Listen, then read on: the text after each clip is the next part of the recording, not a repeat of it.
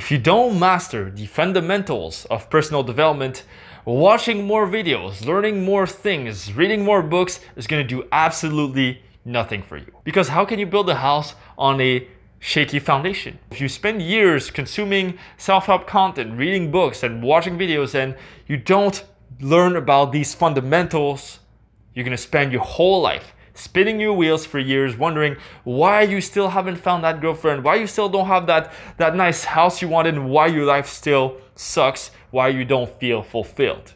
So listen closely. I think we all have the point. Everyone just tries to steal You know, I've, I was watching a Dan Pena video the the other way the other week. Dan Pena, I love him. He's super direct, super intense, kind of sort of like a more extreme version of me, but extroverted and obnoxious. but you know, uh, so it's like you know, he, he was just he was telling the story about this kid who like wrote like who read like over 500 to a thousand self-help books, almost a thousand self-help books, and he asked him, "Nice, so you read a thousand books. So how many deals have you have you made?" Zero. Zero. He didn't make a, a, single deal, meaning like a sale or whatever it means in his terms. The guy didn't make a single sale in his whole life. He read so many business books, sales books, whatever books, didn't make a single fucking sale. Right? So I believe you can extrapolate this to the personal development slash self-help world. That if you, you know, you read a bunch of stuff and you consume a bunch of stuff, but you really don't um, don't take action on the fundamentals, it's just gonna lead to nowhere it's gonna lead to nowhere, right? How many stories have you heard of like, you know, like the guy like who read like a million books, like if you're in self-help, maybe you have a friend or two into self-help, but at least one of them, do you have at least one of them like reads way too much content and doesn't do anything about it? I have one of my friends who's kind of like that. Uh, I'm not gonna say his name, but so what authority do I have to tell you about all of this, right? Well, I'm a self-help junkie myself, okay? I've consumed so many books, so much content, so many videos, and I've been doing personal development for 10 plus years, right? So I started doing meditation when I was young, like still in my teenage years. I began meditation and researching about that and doing it and self-confidence and all that. So for my 10 plus years of experience, all the fucking stupid shit, like all, all the things that people want to work on boil down to these fundamentals. Let's start about the fundamentals. So from what I've seen, the main topics really in personal development is, you know, one huge thing is developing self-confidence, self-esteem, right? Because in a world where so much fear rules the world, right? In a world where fear basically is everywhere. Everyone is guided by fear. Everyone is directed by fear. Everyone is afraid of losing money, of uh, you know losing a, a loved one, or you know like getting rejected, or whatever it is, right? Of what other people think. All this fear um, the counter to that is to learn self-confidence, self-esteem. Just work on that and you'll see massive improvements in your life. The second aspect of personal development, the second fundamental is emotional mastery, right? Which kind of ties in with self-confidence and self-esteem. Uh, in a way, um, emotional mastery is all about, you know, how to let go of negative emotions. If you feel sad, how do you overcome it? If you feel fear, if you feel afraid, how do you overcome that? Right? You feel angry. How do you deal with that anger? This is a huge component of self-development and it has sort of like an intrinsic aspect and an external aspect to it. So one aspect of it is, you know, you know, learning to manage your thoughts, learning to, you know, cognitive behavioral therapy kind of helps.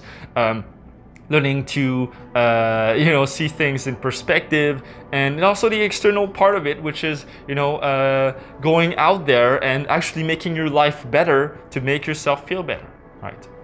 The third aspect is relationships, dating, and uh, social interactions, right? The social world uh, really is another fundamental, right?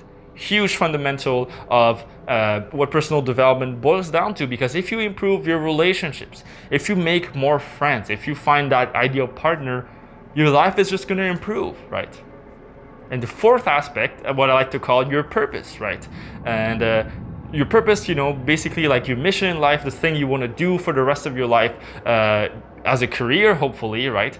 And, uh, you know, this kind of ties in into the money aspect, right? Yes, the money aspect, you know, could be like another fundamental, but I, I prefer to put in the purpose because if you have the purpose right, that's what from what I've discovered. If you have your purpose set, right, and you really work towards it, you're motivated towards it, then making money is just going to be a byproduct of that.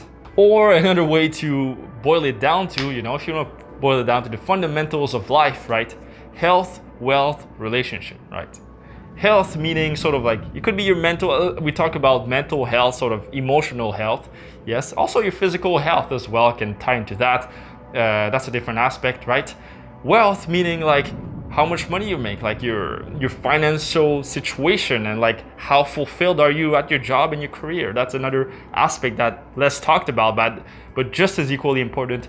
And the third one, which is relationships, right?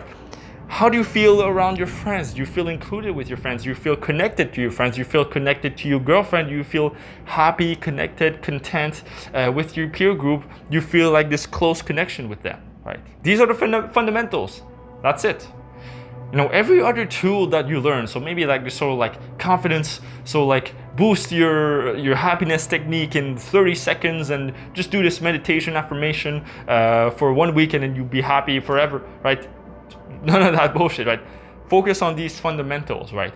Or maybe you know maybe you've learned about like i don't know this uh, uh, these complex concepts about like uh, I don't know like you read so many books about like I don't know uh, PUA, MGTOW, like all those red pill stuff, or you read a, a, bunch of like advanced concepts about like you know how to beat procrastination, you know, duh, duh, duh, like the science of procrastination. This uh, have you learned that this procrastination just boils down to doing the fucking work, right? Or like take the complexity of it, right? You know, when you're feeling confused, when you're feeling like like you, you can't understand anything or you feel like uh, you just don't know where else to go okay? You have this huge complex mess and you know if you're an intelligent person and introverted which is, i'm guessing you probably are right? Um, then yes you're gonna get lost in all these thoughts and theories and stuff like that and and you wonder why you feel so confused and you feel so sad and unfulfilled.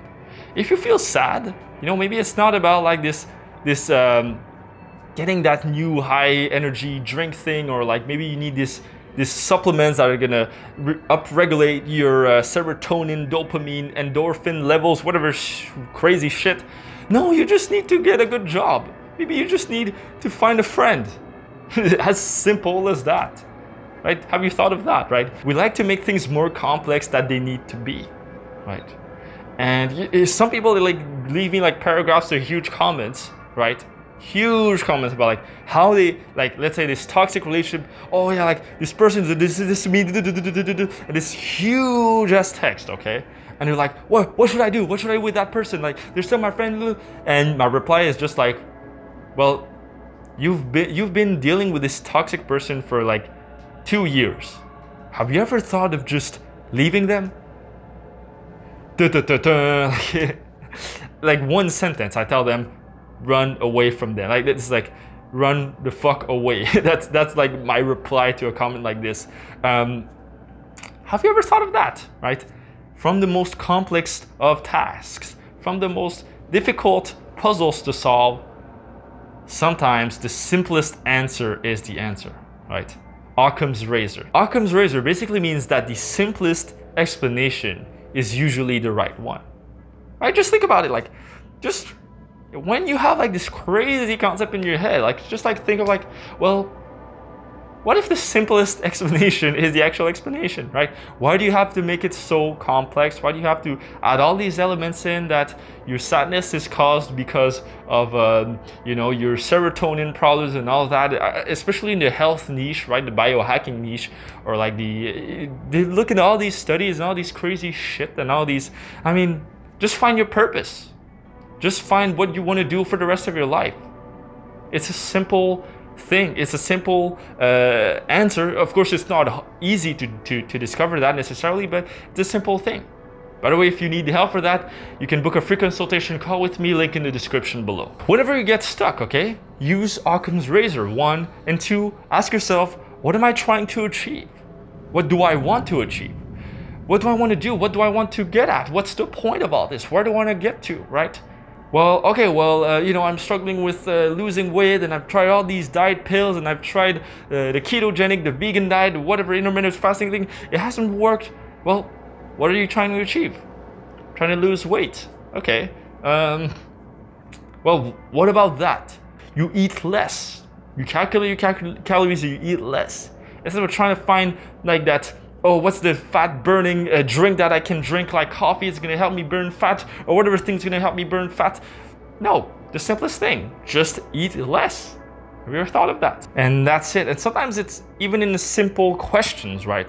Whenever you feel stuck, okay, whenever you feel stuck in life and you just ask this question What will make me more happy in life? What's, this, what's the first answer that comes to your mind? If it's to have a better relationship, then do that. If it's to find a girlfriend, just focus on that. The first thing that comes to mind, right? The real thing, the authentic thing that comes to mind. Me, what would make me happy is to quit my part-time job, right? I'm making decent money with Nameless, but unfortunately it's not my full-time, it cannot be my full-time income yet. I'm in transition mode right now where, you know, it's kind of 50-50, right, with my job. Um, but that's what will make me happy. It's a simple thing. And for that reason, this is the one thing I focus on. And now I have a plan. Okay, well, what will make me happy is to quit my nine to, uh, to quit my part-time job. Okay, how do I quit my part-time job? Oh, if I got more coaching clients. Oh, if I got a bigger YouTube following, I'd get more clients. I get more people who buy my products, right? So then I reverse engineer and I'm like, oh, you know what? I probably should get a coach on how to help me grow my YouTube channel. So I purchased this online course with this coach, um, with uh, Evan Carmichael, the guy who's like almost 3 million subscribers. Now he has a YouTube course, how to grow your following. And I thought it's, which is perfect for business owners, whatever. So I thought, you know what? I'm going to do that. And I'm just focusing on that. This is making me more happy, more fulfilled, right? Because I asked this simple question, what would make me more happy? Just ask that question whenever you feel lost. And when, yes, when you've looked at all the simple things and now your life is okay, your life is happy, uh, you've tried resolving the simple things, then yes, okay, you can be nerd out and start looking at spiral dynamics or you can start reading some psychology literature that's like obscure and weird or whatever. Like, yeah, you can start doing that or you just do it if you don't like that, whatever. Just, but like, focus on the fundamentals. Your life, look at your life now. What are things you can face? That's basically it. So if you enjoyed this video about the fundamentals of personal development, you're gonna love this next video here about signs that you're destined to fail at life. You don't wanna fail at life, so I'll see you there. You reject any idea or worldview that contradicts your current worldview. Right? Now, what is a worldview? A worldview is your way of seeing the world. Maybe it's, you know, it's